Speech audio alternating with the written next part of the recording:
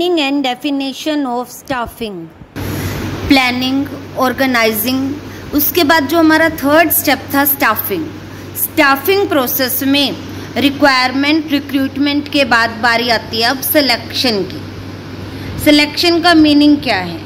Selection is a deliberate effort of organization to select a fixed number of personal from large number of applicants recruitment में हमारे पास काफ़ी अधिक मात्रा में applicants आए थे।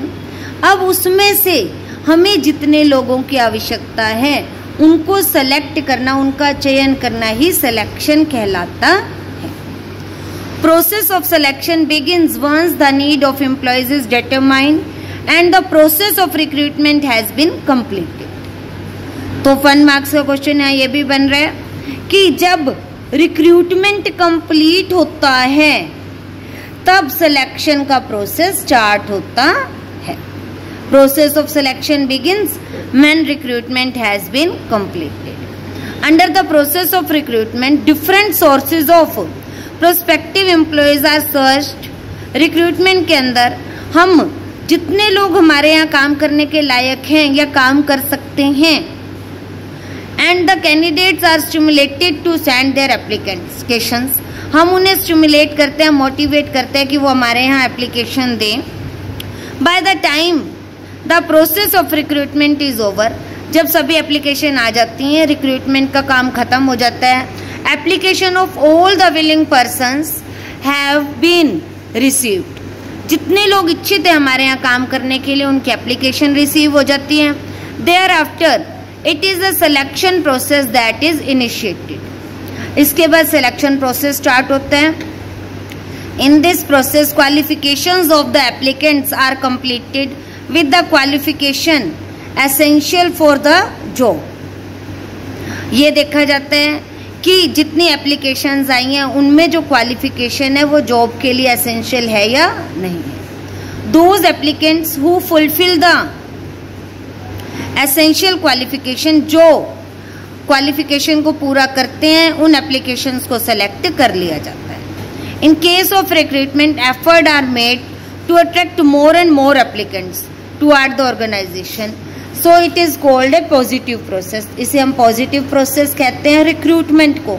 यहाँ पे अधिक से अधिक लोगों को मोटिवेट किया जाता है एप्लीकेशन देने के लिए। But in selection process is a negative because under it efforts are made to reduce the number of applicants यहाँ पे प्रार्थियों की संख्या को कम करने का प्रयत्न किया जाता है। Meaning of selection selection refer to the process by which qualified applicants are selected by mean of various test in predetermined number out of large number of applicants हमें जितने लोगों की आवश्यकता है, उनको सेलेक्ट करना अधिक मात्रा में प्रार्थियों की संख्या मिस इसके बाद डेफिनेशन डेली ऑर्डर ने दी है। Selection is the process in which candidates for employment are divided into two classes those who are to be offered employment and those who are not selection का जो process है candidates में से जो आपके रिक्रूटमेंट के समय एप्लीकेशंस आई थी उनमें से इन्हें दो हिस्सों में डिवाइड करना है। एक वो जिन्हें सेलेक्ट किया जा रहा है जॉब ऑफ़र किया जाएगा, और दूसरे वो जिन्हें जॉब ऑफ़र नहीं किया जाएगा। विलरिज एंड कुंट्स ने डेफिनेशन दी है। Selecting manager is choosing from among candidates the one who best meets the position of requirement जो हमारी आवश्यकताओं को सबसे अधिक मात्रा में पूरा करता है।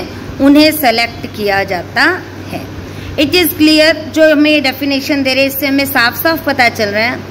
So under the process of selection one or if you among several is selected on the basis of pre predetermined qualification जो उन्हें सेलेक्ट किया जाता है, जो हमारी पूर्व निर्धारित क्वालिफिकेशंस को पूरा करता